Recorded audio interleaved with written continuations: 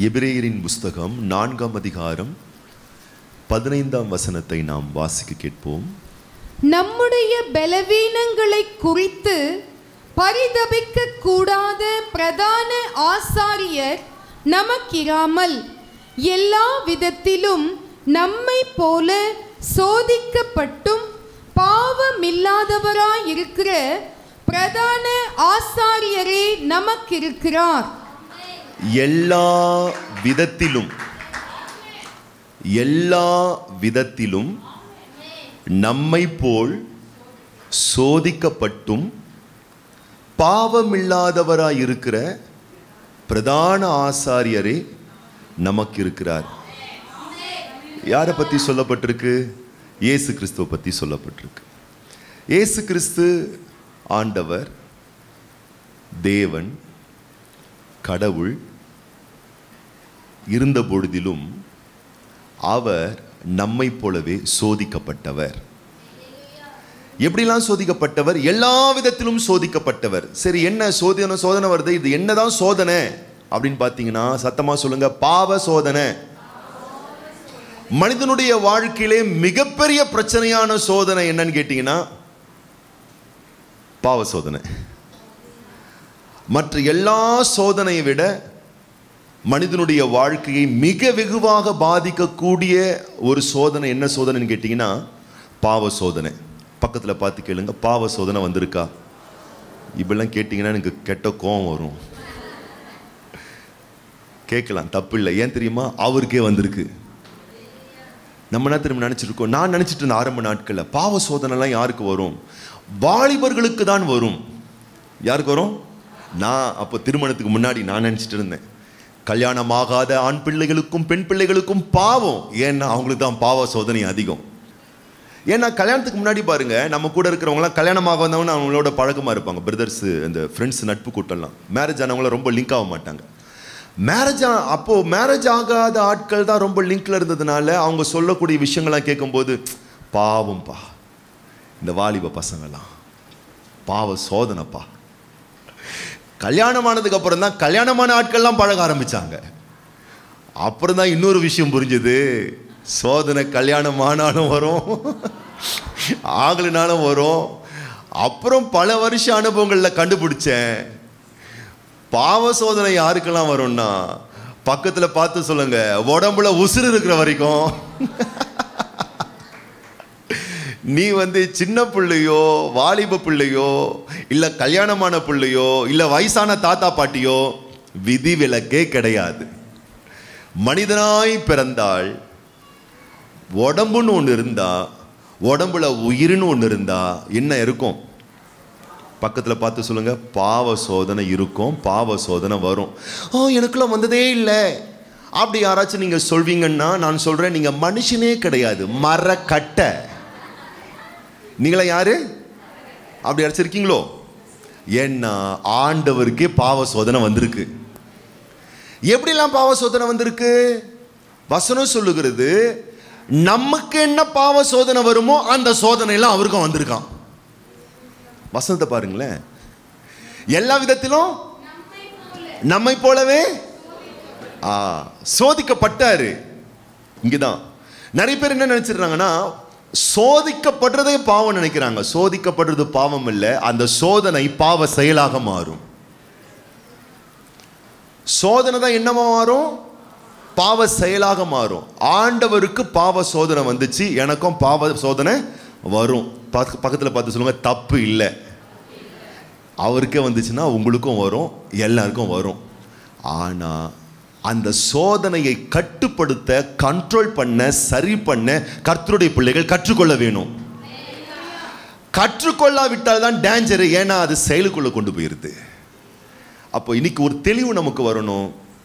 பாவ சோதனை எல்லாருக்கும் வரும் ஆண்டவருக்கும் வந்திருக்கு. அலையிலூயா. சிந்தையில் வரும் பார்வையில் வரும் உணர்வில் வரும் சிலரை பார்க்கும்போது வரும். நான் இதெல்லாம் பேசிக்கிட்டு இதெல்லாம் பேசணும். தெளிவு படணும். இங்கே நீங்கள் கற்றுக்கலன்னா எங்கே போய் கற்றுக்க போறீங்க? சினிமாவில் போய் கற்றுக்க போறீங்களா? பக்கத்தில் பார்த்து சொல்லுங்கள் இங்கே கத்துக்கலன்னா எங்கே போய் கற்றுக்க போகிறீங்க கர்த்தர் கற்றுக் கொடுக்குறது தான் சரியானதாக இருக்கும். கற்றுக் கொடுக்குறாரு பாருங்க. அதுக்கு தான் சர்ச் இருக்குது கற்றுக்கிறதுக்கு தான் சர்ச் அலை லூயா அப்போ பாருங்க பாவ சோதனை என்பது தப்பு கிடையாது. ஏன்னா உடம்பு இருக்குது உடம்புல என்ன இருக்குது உயிர் இருக்கு உயிரில் ஒரு உணர்வு இருக்கு ஒரு ஃபீலிங் இருக்கு அது வரும். தலை ரோட்டில் நடந்து போன தலை காக்கா பறக்கும் குருவி பறக்கும் எல்லாமே பறக்கும். தடுக்க முடியுமா? பாவ சோதனை தடுக்க முடியாது. அலி லூயா ஆனால் செய்கிறத தடுக்க முடியும். தலை பறவை பறக்கிறத தடுக்க முடியாது. ஆனால் கூடு கட்டுறத தடுக்க முடியும். அப்போ நல்லா புரிஞ்சுக்கணும். இன்றைக்கி ஒரு முக்கியமான ஒரு விஷயத்தை சொல்லி நம்ம முடிக்க போகிறோம் ரொம்ப ஷார்ட்டாக முடிக்க போகிறோம் ஜோம் பண்ண போகிறோம் டைம் அதிகமாக இல்லை. என்ன அப்படின்னு கேட்டிங்கன்னா மீட்கப்பட்ட தேவ பிள்ளைகள் இயேசு கிறிஸ்துவை கவனித்து பார்க்க வேணும். அவர் ஏன் இந்த மாம்ச உடம்பெடுத்து இந்த உலகத்தில் வந்தாருன்னா நாம் எல்லோருக்கும் உதாரணங்களுக்கெல்லாம் முன் உதாரணமாக அவர் வாழ்ந்திருக்கிறார். எப்படி? பரலோகத்தில் இல்லை. இந்த உடம்புல இந்த பூமியில் வாழ்ந்திருக்கார். அப்போ அவர் எப்படி சோதனைகளை தனக்கு வந்த சோதனைகளை டெம்டேஷன்ஸை எப்படி ஜெயித்தார் வெற்றி கொண்டார் என்று அவரை காப்பி அடிச்சிட்டாலே நம்ம போதும் ரொம்ப சிறப்பாக நம்ம வாழ்ந்துடலாம். இயேசுவுக்கு வந்த பாவ சோதனையினுடைய முதல் துவக்கம் எங்க அப்படின்னு நீங்கள் பார்த்தீங்கன்னு சொன்னால் லூக்கா சுவிசேஷ புஸ்தகம் நான்காம் அதிகாரம். வேதம் சொல்லுகிறது பிசாசானவன் அவரை சோதிக்கும்படிக்கு பிசாசு என்ன பண்ணுறான் அவரை சோதிக்கும்படிக்கு அவன் என்ன பண்றான்னு கேட்டிங்கன்னா அவருக்குள் இருக்கக்கூடிய கண்ட்ரோல் சிஸ்டத்தை சோதிக்க பார்க்குறான். அல்லையிலூயா சொல்லுங்க பார்க்கலாம். இன்னைக்கு தேவை சொல்லுங்க பார்க்கலாம் கட்டுப்பாடு. எந்த ஒரு நபருடைய வாழ்வில் ஒரு கண்ட்ரோல் சிஸ்டம் ரொம்ப அழகாக வேலை செய்தோ கட்டுப்பாடு அழகாக வேலை செய்தோ அவருடைய வாழ்க்கையில எல்லாத்தையும் கட்டுப்படுத்த முடியும்.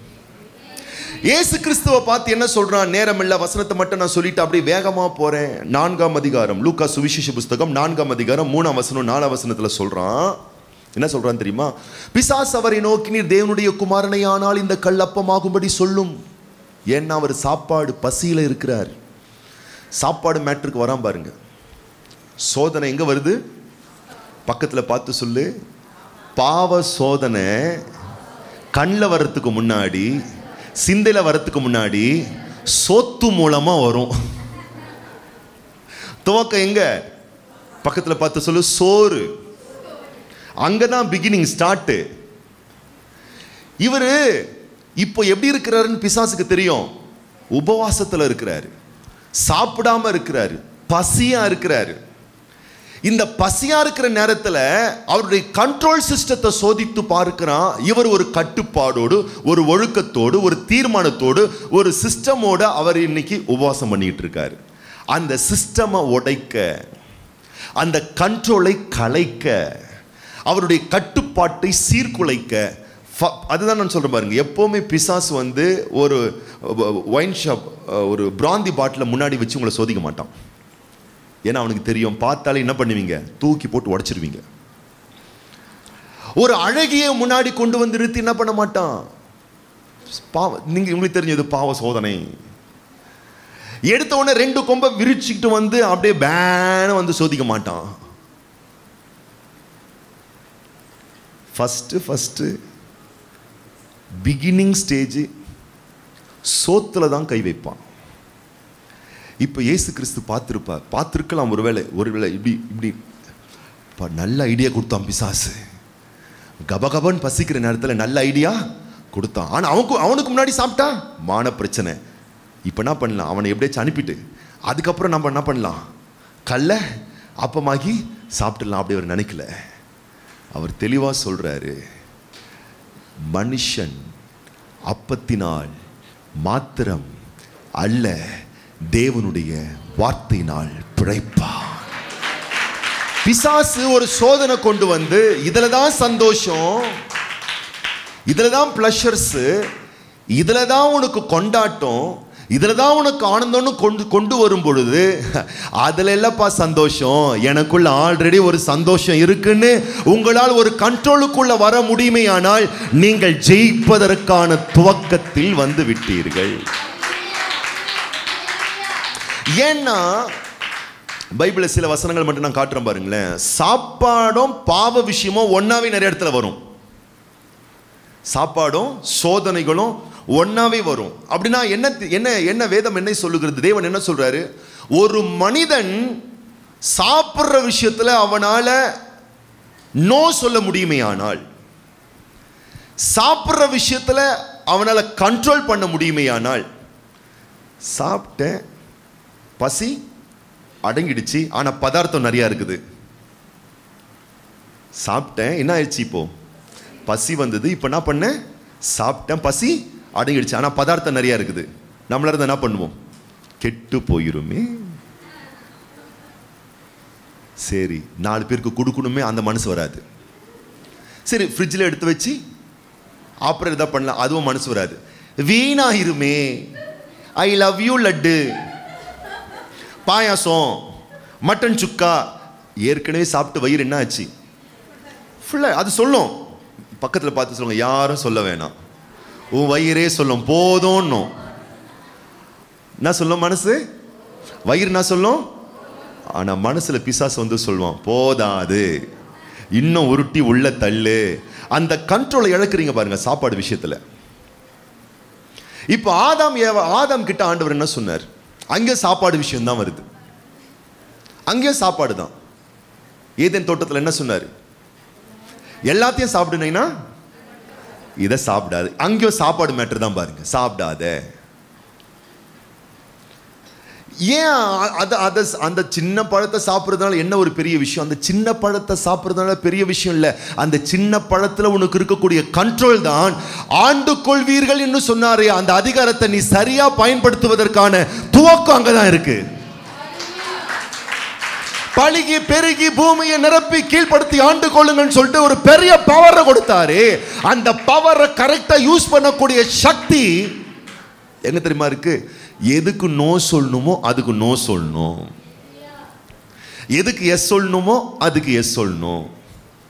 எதுக்கு வேணாம் போதும் அப்படின்னு சொல்லக்கூடிய ஒரு கண்ட்ரோல் சிஸ்டம் உங்களுக்குள்ள இருந்துச்சுன்னா நான் சொல்றேன் எளிதா எல்லாத்தையும் ஜெயிச்சிருவீங்க. ஆனா ஆதாமுக்கும் ஏவாளுக்கும் அது இல்லை. அது இல்லை. என்ன பண்ணிட்டாங்க? எல்லாத்தையும் சாப்பிட்டு மேய்ஞ்சிட்டு இந்த அம்மா நல்லா அசை போட்டுக்கிட்டு எல்லாத்தையும் மேய்ஞ்சோமே. பசி அணுங்கிடுச்சு பசி? ஆனால் பதார்த்தம் இன்னும் இருக்குது. என்ன பண்ணுது அந்த அம்மா? எடுத்து சாப்பிடுது. மனுக்குளமே வீழ்கைக்குள்ளாக சென்று விட்டது. பாருங்க போஜனமும் இந்த பாவ இச்சை இந்த பாவ விஷயம்லாம் ஒன்றா வருது பாருங்க நிறைய இடத்துல. பவுல் சொல்கிறாரு பாருங்க ஒரு இடத்துல வாசிக்க கேட்போம் நம்ம. ஒன்று குருந்தியரின் புஸ்தகம் ஆறாம் அதிகாரம் பதிமூன்றாம் வசனம். ஒன்று குருந்தியர் ஆறு பதிமூணு. வயிற்றுக்கு போஜனமும் வயிற்றுக்கு போஜனமும். போஜனத்துக்கு வயிறும் ஏற்கும். போஜனத்துக்கு வயிறும் இருக்கும் ஆனாலும் தேவன் இதையும் அதையும் அழிய பண்ணுவார். ஆ. சரீரமோ சரீரமோ வேசித்தனத்திற்கல்ல வேசித்தனத்திற்கு அல்ல. கத்தருக்கே உரியது. கர்த்தருக்கே உரியது. கத்தரும் கர்த்தரும் சரீரத்திற்கு உரியவர். சரீரத்திற்கு உரியவர். அல்லே லோயா என்ன இது? வயிறுன்றாரு சாப்பாடுன்றாரு அப்புறம் வேசித்தனங்கிறாரு. பாவ சோதனையின் துவக்கம் பசியிலிருந்து ஆரம்பிக்கிறது. அப்போ என்ன என்ன வேதம் என்ன சொல்ல வருது அப்படின்னு பார்த்தீங்கன்னா ஒரு தேவனுடைய பிள்ளை மீட்கப்பட்ட தேவனுடைய பிள்ளை உடலை வளர்ப்பதற்காக உயிரை வளர்ப்பதற்காக இந்த பூமியிலே வாழ்வதற்காக புசிப்பதல்ல. ஏன்னா இந்த உலகத்தில் நாம் சாப்பிட்றதுக்காக பிறந்தவங்க அல்ல. பக்கத்தில் பார்த்து சொல்லுங்கள் சாப்பிட்றதுக்காக நீங்கள் பிறந்திருந்தா நீங்கள் சோத்து மாக்களாக இருந்திருப்பீங்க. ஆனால் நீங்கள் சோத்து மாக்கள் அல்ல நீங்கள் ஆத்துமாக்கள். அப்ப நீங்க ஆத்துமாக்களா இருக்கிறதுனால ஆத்துமாக்களா இருக்கிறதுனால போஜனம் அதிகமா சாப்பிட்டா அதிக அதிகமா எடுத்துக்கிட்டா சொல்லுங்க பார்க்கலாம் குடல் கெட்டு போகும். குடல் கெட்டு போனா உடம்பு கெட்டு போகும். அதுதான் அப்படி சொல்லப்பட்டிருக்கு அழிக்கப்படுகிறது. கண்ட்ரோல் இல்லாமல் புசிக்கக்கூடிய ஒரு மனிதன் சாப்பாட்டாலேயே சாவுறான். அதுபோல இதுல கண்ட்ரோல் இல்லைன்னா சரீரத்தினுடைய ஆசை இச்சை காம வெறி எண்ணங்களை கட்டுப்படுத்த முடியாது. அதனால மனுஷனுடைய வாழ்க்கை மிக அதிகமாக பாதிக்கப்படுகிறது. இன்னொருத்தலையும் சொல்றாரு பாருங்க. சாப்பாடையும் பாவ சோதனை இந்த விஷயத்தை பத்தி டீல் பண்றாரு பாருங்க. எபிரேயரின் புஸ்தகம் பன்னிரெண்டாம் அதிகாரம் பதினாறாம் வசனம் எபிரேயர் பன்னெண்டு பதினாறு. ஒருவனும் வேசி கள்ளனாகவும் ஒருவேளை போஜனத்துக்காக தன் சேஷ்ட புத்திர பாகத்தை விற்று போட்ட ஏசாவை போல சீர்கெட்டவனாகவும் இராதபடிக்கும் எச்சரிக்கையாயிருங்கள். இங்கே ஏசாவை பற்றி சொல்லப்பட்டிருக்கு. ஏசாவுக்கு என்ன ஆயிடுச்சுன்னு கேட்டிங்கன்னா சேஷ்ட புத்திர பாகம் என்ற ஒரு விசேஷித்த மகிமை அவனுக்கு கொடுக்கப்பட்டது. ஆனால் அவன் என்ன பண்ணிட்டான்? எதுக்காக? சாப்பாடுக்காக. பக்கத்தில் பார்த்து கூட சொல்லுங்க. சாப்பாட்டுக்காக பெரிய ஸ்லாக்கியத்தை இழந்தான் அந்த சாப்பாட்டில் கண்ட்ரோல் இல்லாததுனால இந்த பாவத்திற்கு அவனுடைய வாழ்க்கை உடன்பட்டு போய்விட்டது. அப்போ நல்லா புரியணும் தேவ பிள்ளைகளுக்கு வேதத்தில் பாருங்க சாப்பாடு இந்த பாவ சோதனை இது எல்லாமே பொருத்துவதற்கு காரணம் என்ன? நீங்கள் உண்ணக்கூடிய பல உணவுகளுடைய விஷயங்கள் தான் உணர்ச்சிகளை பாதித்து பாவ சோதனையை கொண்டு வரக்கூடியதாக இருக்கிறது. அப்போ உணவு எதுக்கு வச்சிருக்காரு அப்படின்னு கேட்டிங்கன்னு சொன்னால் நல்லா புரிந்து கொள்ள வேண்டும். இந்த உடம்புக்கு உணவு அவசியம். ஆனால் அதீத உணவு அவசியம் கிடையாது. சாப்பாடு அவசியம்தான். ஏன்னா தேவன் உணவை ஏற்படுத்தியவர். இந்த உடம்புக்கு உணவு வேண்டும் என்ற சிஸ்டத்தை அவர் தான் ஏற்படுத்தினார். ஆனால் எந்த ஒரு விஷயமே சரி எந்த ஒரு உணவே சரி நம்முடைய வாழ்க்கையிலே அதீதமாய் போகும் பொழுது அது ஆபத்தில் முடிகிறது. சில பேர் இப்படி இருக்காங்க. இந்த எஸ்டீம் லெவலில் குறைஞ்ச எஸ்டீம் லெவலில் சரியாகவே சாப்பிட்றதில்ல. சரியாகவே சாப்பிட்றதில்ல. அதுவும் பாதிக்கும். சில பேர் ரொம்ப சாப்பிட்றது அதுவும் பாதிக்கும். வசனம் தெளிவாக போதிக்கிறது. பிரசங்கின் புஸ்தகம் பத்தாம் அதிகாரம் பதினேழாம் வசனம் சொல்லுகிறது வெறிக்க உண்ணாமல் பசிக்கிற நேரத்தில் ஏற்ற வேளையில் எப்படி எப்படி வசனம் வருது? பிரசங்கி பத்து பதினேழு. ராஜா குல மகனுமாய் பிரபுக்கள் வெறிக்க உண்ணாமல் வெறிக்க உண்ணாமல் பலன் கொள்ள ஏற்ற வேளையில் உண்கிறவர்களுமாய் இருக்கப்பட்ட தேசமே நீ பாக்கியம் உள்ளது அப்ப அது என்னது? வெறிக்க உண்வது. ஓவர்லோடு போச்சுன்னா வெறி ஏறும்னு சொல்லுது. அப்போ என்ன? இப்போ எனக்கு நல்லா புரிஞ்சுக்குங்க. டிஃபனில் உங்கள் வீட்டில் உங்கள் வீட்டுக்கு வீட்டில் இருக்கிறவங்களாம் உங்களை மேலே வச்சிருக்கிற அன்புனால் பத்து தோசையை போடுவாங்க. பத்து இட்லியை வைப்பாங்க. அஞ்சு இட்லி. ஆனால் உங்களுக்கு எத்தனை இட்லி போதுமானது? ரெண்டு இட்லி. மூணு இட்லி. போதுமானது. நீங்கள் என்ன திரும்ப சொல்லணும்? தாயி சோத்திரம் உன் அன்பெல்லாம் உன் அன்பை இட்லியில் காட்டாத. உன் அன்பை சோத்தில் காட்டாத. உன் அன்பை செயலில் காட்டு. அப்படின்னு சொன்னீங்கன்னா கண்ட்ரோலை வளர ஆரம்பிச்சிருவீங்க. என் மனைவி என் மேல் அன்பு வைத்திருக்கிறாள். கொட்டு செல்லும் ஊரா முட்டு நெய் என் பொண்டாட்டி கையை ஊத்துறா ராசாத்தி அப்படியே போனீங்கன்னா ஏறும். வயிறும் ஏறும் வெறியும் ஏறும். அரே லூயா மாதிரி இன்னைக்குமே சாப்பாடுக்கு முன்னாடி ஒன்று புரிஞ்சுக்கோங்க. சாப்பாடு சாப்பிட்றதுக்காக நான் இந்த உலகத்தில் வாழல. கர்த்தருக்காக வாழ்கிறதுக்காக இந்த சாப்பாடு எனக்கு. சாப்பாடுக்காக நான் இல்லை. எனக்காக தான் சாப்பாடு. சிலர்லாம் பார்த்தீங்கன்னா எப்போ பார்த்தாலும் சோறு சோறு சோறு அங்கே எனக்கு சரியாக சோறை போடல. இங்கே போனால் எனக்கு சரியாக சோறை போடல. அவங்க என்ன சரியாக கவனிக்கல. பக்கத்தில் பார்த்து சொல்லுங்கள் மூணு நாள் சோறு தண்ணி இல்லாமலும் கூட உங்களால் உசுரோட வாழ முடியும். சாப்பாடை ஒரு தரமான ஒரு ஆவிக்குரிய கிறிஸ்தவ பிள்ளை சாப்பாட்டை பிரதானமே படுத்தாதீங்க. சில பேர்லாம் சொல்லுவாங்க எங்களுக்கெல்லாம் சோறு தான் முக்கியம். சோறு முக்கியம்தான். மனுஷன் படுற பிரயாசம்லாம் வாய்க்காக தான் நல்லது தான் அளவாக சாப்பிடுங்க. புரிந்து கொள்ளுங்கள். அளவாய் சாப்பிட்டால் அளவாய் தூங்குவீர்கள். அளவாய் தூங்குவீர்களே ஆனால் அளவாய் எல்லாரோடும் பழகுவீர்கள். அளவை மெயின்டெனன்ஸ் பண்ணீங்கன்னா பாவ சோதனையில் ஒரு கண்ட்ரோல் பண்ணுகிற ஒரு தேவரகமான சுவிட்ச் உங்களுக்குள்ளவே அது இருக்கும். அலையிலோய்யா அப்போ நான் தெளிவாக சொல்கிறேன் சாப்பாட்டு விஷயத்தில் நோ சொல்லவும் போதும்னு சொல்லவும் உங்களுக்கு தெரிந்திருக்க வேணும். கூடுமான அளவுக்கு உங்கள் வயிறு சொல்கிறத கொஞ்சம் கேளுங்க பக்கத்தில் பார்த்து சொல்லுங்கள் வயிறு சொன்னதை கேட்கலன்னா வயிறு கொஞ்சம் வீங்கிரும். ரெண்டு ரெண்டு தட்டு சாப்பாடு நல்லா இருக்கு சாப்பிடுவோம். இன்னும் கொஞ்சம் என்ன பண்ணுவோம்? நாளைக்கு டிஃபன் பாக்ஸில் போட்டு கொஞ்சம் எக்ஸ்ட்ரா கொஞ்சம் எடுத்து வச்சுப்போம். எதுக்கு? இன்னும் ஒன் ஹவர் பொறுத்து சாப்பிடணுமா? டாக்டர் சொல்லிட்டாங்க மூணு வேளை சாப்பாடை அதை வந்து ஸ்கிப் பண்ணி ஸ்கிப் பண்ணாமல் அதை ஸ்பிட் பண்ணி சாப்பிடுங்கன்னு சொல்லிட்டாங்க. அதனால் ஒரு நாளைக்கு பத்து டிஃபன் பாக்ஸ் சாப்பிட்றேன்.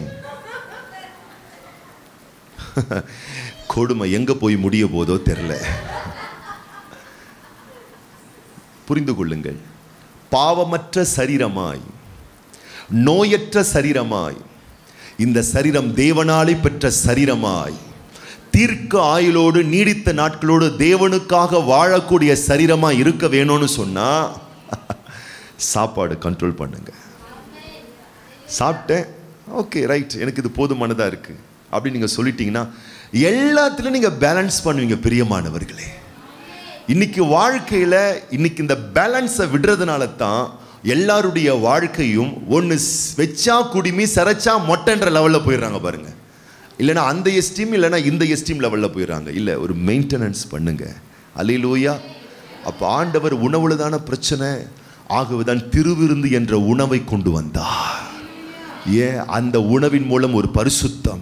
அந்த உணவின் மூலம் பாவ மன்னிப்பு. அந்த உணவின் மூலம் ஒரு வாழ்க்கையில் ஒரு மறுரூபத்தை ஏற்படுத்தக்கூடிய ஒரு ஆசீர்வாதத்தை ஏற்படுத்தி இருக்கிறார் இப்போ நான் சொல்கிறேன் போதுமான அளவுக்கு நீங்கள் சாப்பிடுங்க. அலையிலோயா எல்லா நாளும் ஒரே விதமாக உங்களுக்கு பசி இருக்காது. ஒரு நாள் அரை கரண்டி போதும். சாப்பிட்டதுக்கப்புறம் நீங்கள் என்னென்ன சொல்லணும்? போதும். அல்லையிலூயா சில நேரத்தில் ரெண்டு கரண்டி தேவைப்படும். என்ன சொல்லணும்? போதும். இல்லை அவங்க கொட்டிக்கிட்டே தான் அவங்க கொட்டிக்கிட்டே தான் இருப்பாங்க. அதுக்கப்புறம் என்ன தெரியுமா சொல்லுவாங்க? எப்படி திங்குது பாரு அது.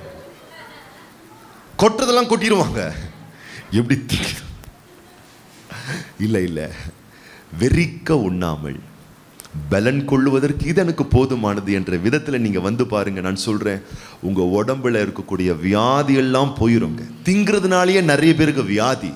திங்கிறதுனாலேயே உடலில் பல பாவ சோதனைக்கு உட்படுற பல விஷயத்தில் கண்ட்ரோல் இல்லாமல் போயிட்டுருக்கு. அல்லையிலூயா சாப்பாடே இல்லைங்க அதனால நான் சாப்பிடல. அந்த விஷயம் இல்லை. சாப்பாடு இருந்தும் அளவாக சாப்பிட்றது. ஆதாமுக்கும் ஏவாளுக்கும் அந்த இயேசு கிறிஸ்துவுக்கு இருந்த அந்த சாப்பாட்டு விஷயத்தில் இருந்த அந்த கண்ட்ரோல் ஆதாமுக்கு மாத்திரம் இருந்திருக்குமே ஆனால் ஏவாளுக்கு மாத்திரம் இருந்திருக்குமே ஆனால் மனுக்குளம் விழுந்து போயிருக்கவே விழுந்து போயிருக்காது. அல்லையிலோயா இப்போ நான் சொல்கிறேன் பாவ சோதனை வருமா? வரும். அப்போ நான் சொல்கிறேன் எப்போ வேணால் எப்படி வேணால் எந்த உருவத்தில் வேணாலும் வரும்.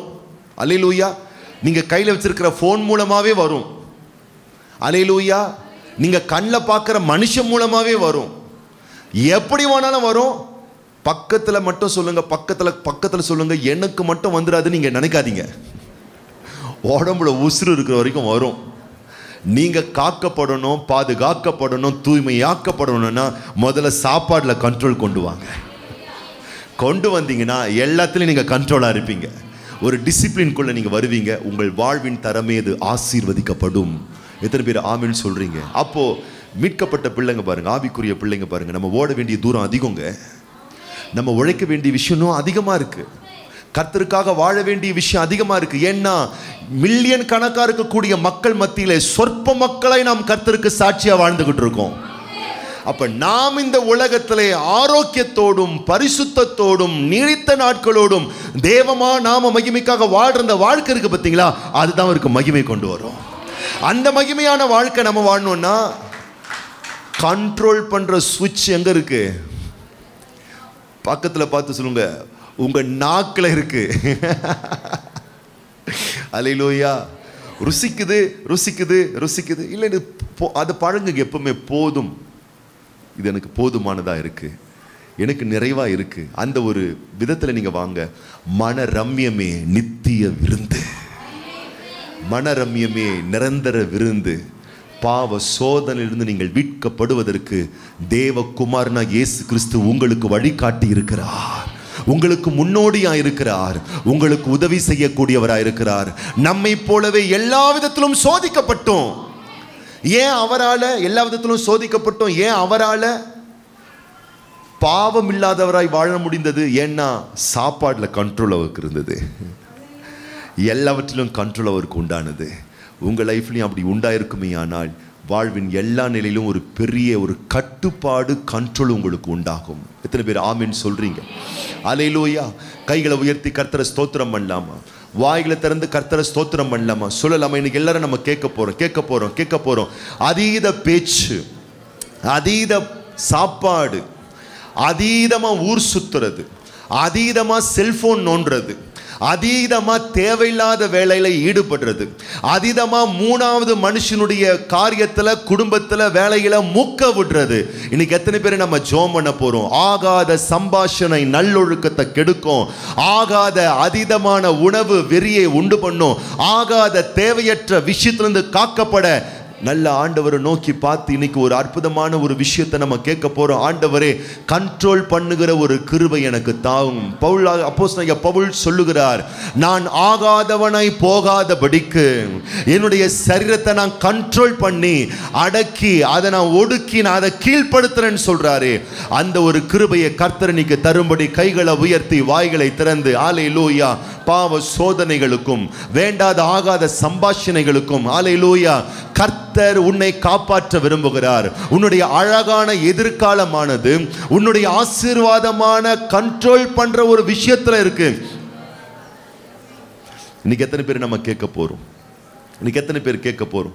ஆண்டவர் அப்படிப்பட்ட ஒரு கிருபைகளை தந்து உங்களுக்கு ஆசீர்வாதத்தை கொடுக்க விரும்புகிறேன் நம்ம கடைசி நம்ம ஜோம் பண்ணி நம்ம முடிக்க போகிறோம் எல்லாரும் கண்களை மூடி நம்ம ஜோம் பண்ணி நம்ம முடிக்க போகிறோம் ஹலே லோயா தேவன் உன்னுடைய பண விஷயத்தில் உன்னை ஆசீர்வதிக்கிறவர் மாத்திரமல்ல உன் பரிசுத்தமான விஷயத்திலையும் உன்னை ஆசீர்வதிக்கிற ஒரு தேவனா இருக்கிறார். ஆலை லூயா ஆலை லூயா பல வகையான சோதனையில் நீ சிக்கி கண்ணியில் சிக்கி வழிவேதனையில் சிக்கப்பட்டு உன்னுடைய உடம்பையும் கெடுத்து உன் மனசையும் கெடுத்து உன் வாழ்க்கையும் கெடுத்து நீ போவது நீ மட்டும் பாதிக்கப்படவில்லை.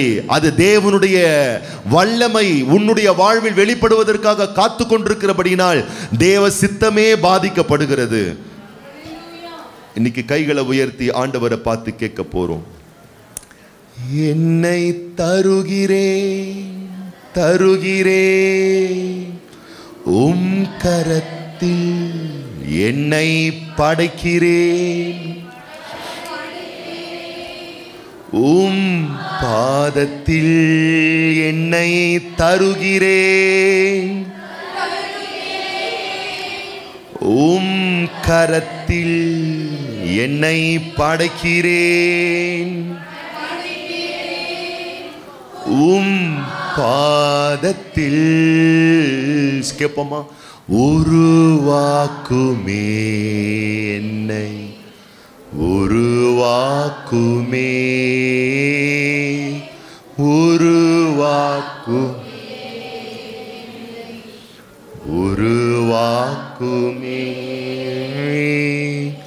உருவாக்குமே என்னை. உருவாக்குமே உருவாக்குமே உருவாக்குமே கடைசி ஒரே வசனம் வாசிச்சு நம்ம முடிச்சிடலாம். ஒன்று கொரிந்திரின் புஸ்தகம் ஒன்பதாம் அதிகாரம் இருபத்தி நான்காம் வசனத்திலிருந்து இருபத்தி ஏழாம் வசனம் வரைக்கும் வாசிக்க கேட்போம். பந்தய சாலையில் ஓடுகிறவர்கள் எல்லாரும் ஓடுவார்கள். இது வாழ்க்கை என்பதே ஒரு பந்த பந்தய சாலையில் ஓடுகிற ஒரு ஓட்டத்தை போல. ஓடுவார்கள். ஆகிலும் ஒருவனே பந்தயத்தை பெறுவான் என்று அறியீர்களா? நீங்கள் பெற்று கொள்ளத்தக்கதாக ஓடுங்கள். ஆயிரம் பேருக்கு கிடைக்குதோ இல்லையோ நான் பெற்றுக்கொள்ள போறேன். அப்படி நான் ஓடணும். அப்ப அப்படி ஓடணும்னா என்னென்னலாம் செய்யணும்னு சொல்றாரு பாருங்க. ஓடுங்கள். பந்தயத்திற்கு போராடுகிற யாவரும் பந்தய பயிற்சியில் பயணிக்கக்கூடிய போராடக்கூடிய யாவரும் எல்லாவற்றிலேயும் இச்சை அடக்கமாய் இருப்பார்கள். அல்லே லூயா எல்லாத்தையும் கண்ட்ரோலா இருப்பாங்களாம். அவர்கள் அழிவுள்ள கிரீடத்தை பெறும்படிக்கு அப்படி செய்கிறார்கள். நாமோ அழிவில்லாத கிரீடத்தை பெறும்படிக்கு அப்படி செய்கிறோம். அவங்க அழிவான ஒரு பரிசை பெறுவதற்காக டயட் கண்ட்ரோல் பார்த்தீங்கன்னா தூங்குறது கரெக்டாக இவ்வளவு தான் சாப்பிட்றது இவ்வளவு தான் வெயிலில் கூட போக மாட்டாங்க. எங்கெங்கே போகணுமோ அங்கே தான் போவாங்க. எதை எதை செய்யணுமோ அதை தான் செய்வாங்க. வேண்டாத செய்ய மாட்டாங்க. எல்லாவற்றிலேயும் ஒரு அடக்கம் இச்சை அடக்கத்தோடு இருப்பாங்களாம். ஏன்னா சாதாரணமான ஒரு கப்பு வாங்குறதுக்காக அவங்க இப்படிலாம் செய்கிறாங்களாம் நீங்களும் நானும் கப்பு வாங்குறதுக்காக இல்லைங்க. இந்த உலகத்திலேயே ஒரு தரமான வாழ்க்கை வாழ்கிறதுக்காக நம்ம ஓடிட்டு இருக்கோம். அப்படி நம்ம ஓடுறதுனால நமக்கு ஒரு பெரிய ரிவார்டு இருக்கு பாருங்க பலன் இருக்கு பாருங்க. அதனால் பவுல் சொல்றாரு ஆதலால் நான் நிச்சயம் இல்லாதவனாக ஓடே ஓடேன் ஆகாயத்தை அடிக்கிறவனாக சிலம்பம் பண்ணேன். மற்றவர்களுக்கு பிரசங்கம் பண்ணுகிற நான் தானே. நான் தானே. ஆகாதவனாய் போகாதபடிக்கு. ஆகாதவனாய் போகாதபடிக்கு. என் சரீரத்தை ஒடுக்கி கீழ்ப்படுத்துகிறேன். அல்லே லோயா கோட் பண்றாரு பாருங்க. இச்சை அடக்கத்தையும் சரீர ஒடுக்கத்தையும் கோட் பண்ணுறாரு பாருங்க. இச்சை ஆசை காம எண்ணங்கள் பாவ சோதனையினுடைய இச்சை என்று எல்லாத்தையும் கட்டுப்படுத்தணும்னா சரீரத்தை கட்டுப்படுத்தணும். சரீரத்தை எது கட்டுப்படுத்தும்? பக்கத்தில் பார்த்து சொல்லுங்க சோறு தான் கட்டுப்படுத்தும். எது கட்டுப்படுத்தும்? சோறு தான் கட்டுப்படுத்தும். இப்போ அவர் வாழ்ந்திருக்கிறார் பாருங்க அந்த வாழ்க்கையை. அதான் பிலிப்பர் நாளில் சொல்வார் பாருங்க பட்டினியாய் சாப்பிடாம இருக்கிறதுக்கு கூட நான் போதிக்கப்பட்டிருக்கிறேன். அலையிலோயா அப்போ உங்களுக்கே தெரியும் யாரும் சொல்லணும்னு அவசியம் இல்லை. இந்த ஆகாரம் உங்களுக்கு போதுமானதுன்னு யார் சொல்வா? உங்கள் வயிறே சொல்லும். அதோடு என்ன பண்ணணும்? நிறுத்திக்கணும். சரியாக கரெக்டாக ஒரு டிசிப்ளின் லைஃப்குள்ளே நீங்கள் வந்துட்டீங்கன்னா நான் சொல்லுகிறேன் உங்களை குறித்த தேவனுடைய உயர்ந்த நோக்கங்கள் திட்டங்கள் அழைப்புகள்லாம் இருக்கு. நம்ம சாப்பாடு சாப்பிட்டு தின்னு தின்னு சாகிறதுக்காக வரலங்க. நாம் வென்று பல தரமான வெற்றிகரமான வாழ்க்கை வாழ்வதற்காக நம்ம வந்திருக்கோம். பெரிய பெரிய வாக்கியங்களை நமக்கு உண்டாக்கப்பட்டிருக்கு. சாப்பாடு தான் வாழ்க்கை இல்லை அதை விட மிக அற்புதமான விஷயம்லாம் தேவன் நம்மளை கொண்டு செய்ய திட்டமிட்டிருக்கிறாரு. இது ஒரு பெரிய மேட்ராகவே தேவ பிள்ளைகளுக்கு இருக்கக்கூடாது. சாப்பிட வேணாம்னு நான் சொல்லவில்லை சாப்பிடுங்க. ஆனால் பலன் கொள்றதுக்கு ஏற்ற ஒரு ஆகாரம் சாப்பிடுங்க. அதீத உணவு நோயை ஏற்படுத்தும். அதீத உணவு ஆயுட்காலத்தை குறைக்கும். அதீத உணவு பாவ விஷயத்தில் கண்ட்ரோல் இல்லாத அளவுக்கு உங்கள் உடலை கெடுத்துவிடும். வெறிக்க உண்ணாமல் பலன் கொள்ளுவதற்கு உண்ணுகிற அளவான உணவு உங்களுக்கு பலத்தையும் கொடுக்கும். நோயற்ற சரீரத்தையும் கொடுக்கும். தீர்க்காயிலையும் கொடுக்கும். உங்கள் மாமிச எண்ணங்களை கட்டுப்படுத்தக்கூடிய அளவுக்கு உங்களுக்கு ஒரு பலத்தையும் ஆற்றலையும் கொடுக்கும். அலையிலோயா. இதை நீங்கள் தப்பாகவே புரிஞ்சுக்கூடாது. இப்படி சொல்லிட்டாருன்னு சாப்பிடாமல இருந்துடக்கூடாது. இப்படி சொல்லிட்டாருன்னா அவர் அப்படிதாங்க சொல்லுவாருங்க எடுத்து வந்து கொட்டுங்கன்னு போயிடக்கூடாது.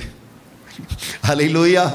பக்கத்தில் பார்த்து சொல்லுங்க. சரியாக கட்டுப்படுத்த கற்றுக்கொள்வீர்களே ஆனால் பந்தய பொருளினுடைய பரிசு உங்களுக்காகவே காத்து கொண்டிருக்கிறது வெற்றிகள் உங்களுக்காகவே காத்து கொண்டிருக்கிறது ஜெயம் உங்களுக்காகவே காத்து கொண்டிருக்கிறது இப்போ நான் என்ன பண்ணுறேன் என்னை முழுமையாக ஆண்டவருக்கு என்னை தருகிறேன் தருகிறேன்.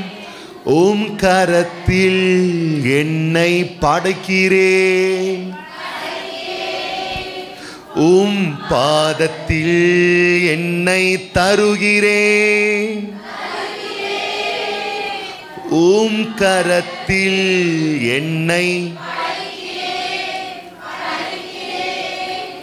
உம் பாதத்தில்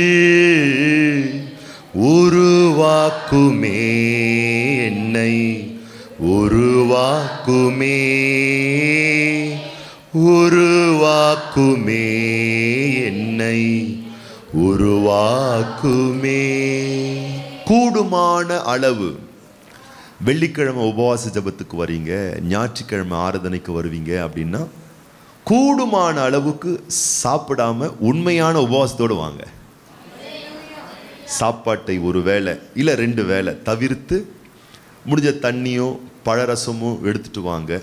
நான் சொல்கிறேன் அது உங்களுடைய ஆன்மாவுக்கும் நல்லது வயிற்றுக்கும் நல்லது.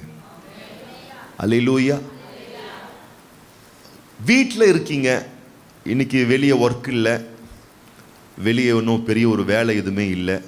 ரெஸ்ட்டில் இருக்கிறேன் ரிலாக்ஸ் பண்ணுறேன் வீட்டில் தான் இருக்கிறேன் ஒர்க் எதுவும் இல்லை ஃப்ரீயாக இருக்கிறேன்னா ஃபோனை பார்த்துட்டு நோண்டிட்டு இல்லாமல் ஒரு வேளையோ ரெண்டு வேளையோ சாப்பாட்டை தவிர்த்து விட்டு வீட்டில் இருந்த வண்ணமாக ஜோம் பண்ணி பாருங்கள் வல்லமை பெருகும். அபிஷேகம் கூடும். பரிசுத்தம் பெருகும். நீங்கள் எதெல்லாம் பெருசாக நினைக்கிறீங்களோ அதெல்லாம் நீங்கள் மட் மட்டமா நினைக்கிற அளவுக்கு ஒரு பெரிய மகிமை உங்களை உயர்த்தும். நிறைவானது வரும்போது என்ன ஆகும்? குறைவானதெல்லாம் அட்ரஸ் இல்லாமல் போயிடும் அந்த ஒரு நிறைவு தேவ உறவில் உபவாசத்து ஜபிக்கும் போது உண்டாகும். லோய்யா ஐயா அப்படி சொல்லிட்டாரியா போடுவோம் உபவாசம் சொல்லிட்டு நீங்கள் ஏதாச்சும் காம்ப்ளிகேட்டட் உங்கள் சரீரத்தில் இருந்து நீங்கள் தினமும் மருந்து மாத்திரை எடுக்கிறவங்களா இருந்து உங்கள் உடம்புல ஆயிரத்தெட்டு வியாதியை வச்சுக்கிட்டு அப்புறம் ஐயா சொல்லிட்டாருன்னு சாப்பிடாம கொள்ளாமல் வீட்டில் உபவாசம் இருந்துன்னு அப்புறம் கையை காலை விரைச்சிக்கின்னு நீட்டிக்கின்னு எனக்கு நீங்கள் ஃபோனை போட்டு ஐயா நீங்கள் உபவாசம் இருக்க சொன்னீங்க. அப்படி வரைச்சி நீட்டிக்கணும்னா நான் அதற்கு பொறுப்பல்ல. அலையிலோயா நீங்கள் ஹெல்த்தியாக இருக்கீங்க. எந்த நோய் நொடி இல்லை. மருந்து மாத்திரை எடுக்காமல் இருக்கீங்கன்னா அதிகமாய் உபவாசித்து ஜெபிங்கள் பெரிய ஆசீர்வாதம். இல்லை கொஞ்சம் உடம்புல சிக்கு இருக்கு நான் தினமும் டேப்லெட் எடுக்கிறேன் அப்படின்னு சொன்னால் இருங்க. உங்களால் முடியுதான்னு பாருங்கள் இல்லை இதுக்கு மேலே என்னால் முடியல. எனக்கு ஒரு மாதிரி பண்ணுது. எனக்கு நான் டேப்லெட் எடுக்கணும்னா கொஞ்சம் எதாவது சாப்பிட்டு தான் ஆகணும்னா சாப்பிட்டுக்கிட்டே ஜெபம் பண்ணுங்க ஒன்றும் பிரச்சனை இல்லை. அல்லையிலோய் ஆனால் உங்களுக்கு வாஞ்சை இருக்குமே ஆனால் வாஞ்சை இருக்குமே ஆனால் நான் சொல்லுகிறேன் உணவை தவிர்த்து ஜெபிக்கக்கூடிய ஒரு ஆசீர்வாதத்தை ஆண்டவர் உங்களுக்கு தருவார். கிருபையை தருவார். ஏங்க உணர் உணவை தவிர்த்துட்டு நான் ஜோம் பண்ணதான் ஆண்டவர் கேட்பாரா? ஆண்டவர் அப்படின்ட்டு இல்லை ஆண்டவர் நீ சாப்பிட்டாலும் கேட்பாரு சாப்பிடலனாலும் கேட்பாரு நீ சாப்பிட்டாலும் நேசிப்பாரு சாப்பிடலனாலும் நேசிப்பாரு. ஆனா சாப்பிடாம நீ இருக்கும் பொழுது நான் சொல்லுகிறேன் இந்த உடல் கொஞ்சம் பலவீனப்படுற மாதிரி இருக்கும் ஆனா உள்ள இருக்கக்கூடிய மனுஷன் சக்தி உள்ள மனுஷனா மாறுறான். அதான் பவுல் சொல்றாரு ஒடுக்கி கீழ்படுத்துறேன் இந்த உடல் கொஞ்சம் அப்படி சோர்வாக தான் ஆகுது. கொஞ்சம் பலவீனப்படுது. ஆனால் நான் சொல்லட்டுமா? உள்ள பிரைட்டாக மாறிக்கிட்டே இருக்கு. உள்ள பவர் கூடிக்கிட்டே இருக்கு. உள்ள சக்தி பெருகிக்கிட்டே இருக்கு. உள்ள நான் சொல்கிறேன் ஃபிசிக்கலாகவும் நீங்கள் ரொம்ப ஹெல்த்தி ஆயிடுவீங்க எந்த அளவுக்கு சாப்பாடு விஷயத்தில் நீங்கள் கண்ட்ரோலாக இருக்கீங்களோ நான் சொல்கிறேன் நோயெல்லாம் போயிடும் பாருங்க கொஞ்ச நாளில் உங்களை விட்டு. நோயெல்லாம் சீக்கிரம் போயிடும் ரொம்ப இந்த நாக்குக்கு இந்த நாக்குக்கு மட்டும் நீங்கள் கண்ட்ரோல் போடலன்னா திறந்து வீட்டில் நாய் நுழையிற மாதிரி எல்லா வியாதியும் உடம்புல வந்து குடும்பம் நடத்தும். அலையிலூயா நான் சொல்கிறேன் இன்னைக்கு எதை கேட்குறீங்களோ இல்லையோ சாப்பாட்டு விஷயத்தில் எனக்கு ஒரு இச்சை அடக்கம் தாங்க ஆண்டவரேன்னு கேட்டு உங்களுக்கு அந்த சாப்பிட்ற விஷயத்தில் மட்டும் ஒரு இச்சை அடக்கம் இருந்தால் நான் சொல்கிறேன் நீங்கள் ரொம்ப ரொம்ப சூப்பருங்க நீங்கள் ஒரு பெரிய ஆசீர்வாதங்க அது. ஒரு பெரிய ஒரு ஆசீர்வாதம். அல்லையிலோயா ஆகவே அப்படிப்பட்ட நேரத்தில் உங்கள் உடல் கொஞ்சம் வெயிட் கூட கம்மியாகும். நல்லது நினச்சிக்கோங்க. உடலுடைய பலு கூட குறையலாம். ஆனால் உள்ள இருக்கக்கூடிய ஜீவனுடைய பலு வல்லம பவர் சக்தி ஆற்றல் அது அதிகமாகும். ஞானம் அதிகமாகும். கிருப அதிகமாகும். வரங்கள் செயல்படும். விசுவாசத்தில் சக்தி அதிகமாக உண்டாகும். இது நான் உபவாசிக்கிற அதாவது நான் சாப்பிடாம இருந்து நான் ஜெபிக்கிற விஷயம் என்பது அவரை மாத்துற விஷயம் இல்லை. அவரை நீங்க மாத்தவே முடியாது. ஏன்னா அவர் மாறாதவரா இருக்கிறாரு. இது நான் என்ன மாத்திக்கிற விஷயம்? நான் என்ன அடக்கத்துக்குள்ள ஒடுக்கத்துக்குள்ள கட்டுப்பாட்டுக்குள்ள கண்ட்ரோலுக்குள்ள கொண்டு வருகிற ஒரு விஷயம்? இது என்னுடைய சீர்படுதலுக்காக செய்கிற விஷயமே ஒழிய அவரை மாற்ற ஒரு விஷயம் இல்லை. அலையிலூயா இப்போ உங்களுடைய பக்தி விருத்திக்கும் நல்வாழ்வுக்குமான ஒரு விஷயம் என்னன்னு கேட்டிங்கன்னா எவ்வளவு மேக்சிமம் லிமிட்டாக சாப்பிடணுமோ அப்படி சாப்பிடுங்க. வீட்டில் ஃப்ரீயாக இருக்கீங்க டைம் இருக்குன்னா ஃபோனை நோண்டாமல் சாப்பாடை தள்ளி வச்சுட்டு இப்போல்லாம் நீங்கள் பார்த்தீங்கன்னா ஒரே சமையல் குறிப்பு தான். காலைல டிஃபன் சாப்பிட்டோம் பதினோரு மணிக்கு இந்த பஜ்ஜி. அப்புறம் மதியானம் ஒரு சாப்பாடு சாயந்தரம் ஆறு மணிக்கு ஒரு சொஜ்ஜி. அப்புறம் ராத்திரி ஒரு ஃபுல்லு மீலு இன்னும் ஆகுறது வயிறு? பக்கத்தில் பார்த்து கீழே எதுனா வயிறா? இல்லை குப்பை தொட்டியா? இப்போ இதில் ஒரு கண்ட்ரோல் உங்களுக்கு இருக்குமையானால் ஒரு பெரிய ஆசீர்வாதத்தை பெற்றுக்கொள்வீர்கள்.